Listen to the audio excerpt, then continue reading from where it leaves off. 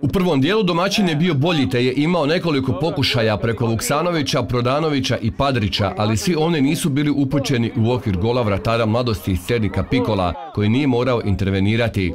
Gosti u prvih 45 minuta nisu ozbiljnije ugrozili domaćeg vratara Renelta, dok malobrojni gledatelji nisu mogli uživati u izvedbi domaćeg Slavonca i gostujuće mladosti.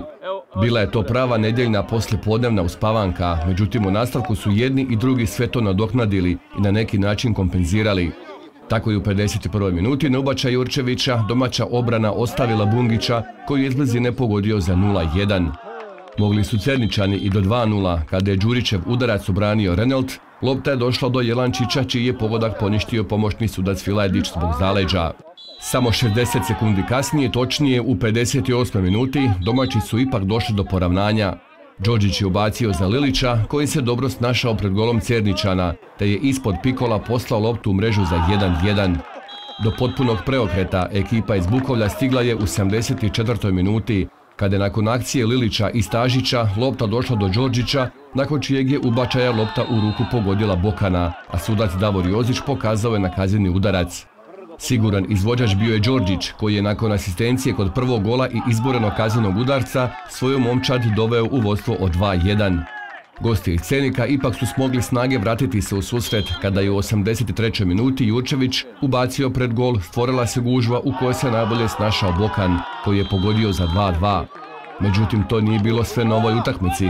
U 90. minuti je najboljeg igrača susreta Bojana Đorđića u zoni udarca srušio Mikanović. Ponovo je Đorđić uzeo loptu i precizno pogodio pokraj Pikola za pobjedu sa 3-2, s kojom se Slavonac sada prema broju bodova poravnao sa Cerdičanima. Znali smo da će biti teška utakmica.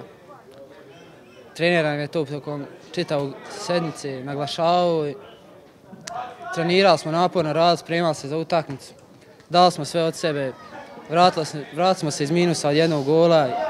Pa da, nadam se da će ovo pružiti dobre partije kao što je i pružan za sada. Nadam se još boljim rezultatima i vidjet ćemo šta će pružiti dalje. Nastavku smo mi na vrijeme poveli, ali bitna su dva detalja da je nama regularan gol na 1-0 poništen odmah, jer i naši su ljudi tu sa strane bili, znači od predsjednika kluba koji je očito vidio da nam je regularan gol poništen, to je već 2-0, već bi to sasvim drugačije bilo. To je jedan vrlo bitan detalj u ovom drugom poluvremenu, bez obzira na sve to u zadnjoj toj minuti iskustvo našeg mladog igrača Mikanovića koji je uopće pravio taj prekršaj normalno loša reakcija vratara, ali to su manje bitni detalji. Ali bez obzira na sve, domaćini su na kraju zasluženo pobjedili, dali su tri gola i ja im čestitam na pobjedi. Prije bih rekao da je jako dobra utakmica, kada da ćeš složiti sa mnom. Bilo je to kompletnih 90 minuta smo bili bolja ekipa. Kompletni, profulali smo sigurno 3 do 4 mrtve šanse Protivnik nam nije praćao, stvorio šansu, osim našim greškama, neka recimo nesnalažljivost iz prekida.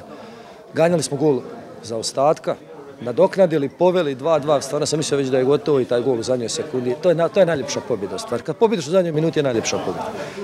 Tako su nogometaši Slavonca iz Bukovlja nakon tri kola bez pobjede sada došli do svog trećeg uspjeha u sezoni, dok je mladost iz Cernika nakon poraza u prvom kolu u Slobodnici u Bukovlju doživjela drugi poraz u prvenstvu.